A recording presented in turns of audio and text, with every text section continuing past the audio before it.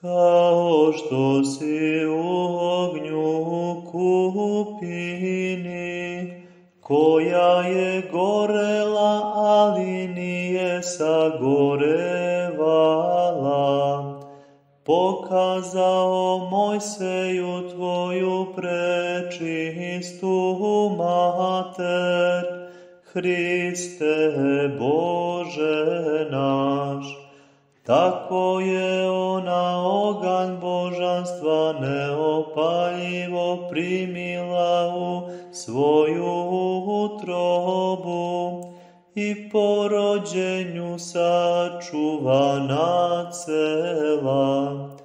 Njeni molitvama izbavi nas od plamena strasti, i od vatre ognjene sačuvaj grad tvoj, kao mnogo milostivi